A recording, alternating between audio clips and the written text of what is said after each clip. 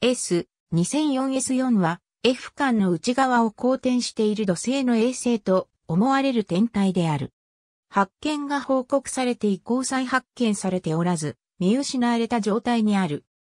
また、個体の実体を持った衛星ではなく、粒子界である可能性も指摘されている。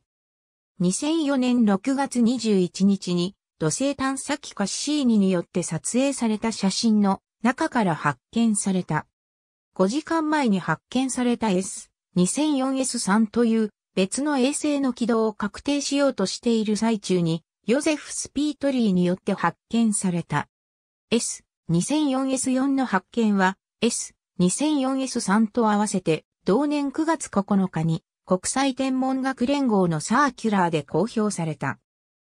S2004S4 と S2004S3 は軌道が違っていたため別々の仮符号が付けられたが F 間を横切るような軌道を持つ同一の物体である可能性もある。このような天体は F 間とはわずかに異なる軌道傾斜角で公転している可能性があり、その場合は、間の外側と内側を行き来していたとしても、実際には F 間の物質の中を通過しないことになる。発見報告の段階では、この二つが同一の天体なのか別の天体なのか、また個体としてまとまっている衛星なのか一時的に集まっている粒子界なのかについては不明瞭であるとされている。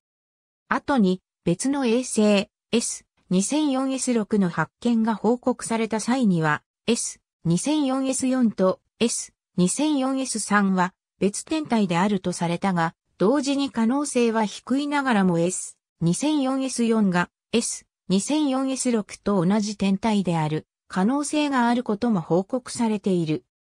その後再発見の試みにもかかわらず、この天体を再発見したという報告はされていない。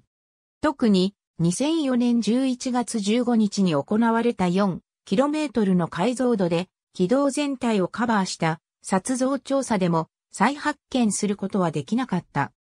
そのためこの天体は一時的に集まった粒子界であり、この観測が行われるまでの間に消失してしまった可能性が指摘されている。S2004S3 も同じく再発見されていない。もし S 2004S4 が実在する固体天体だったとすると、その明るさから直径は3から 5km と推定される。また F 間の羊飼衛星であると思われる。ありがとうございます。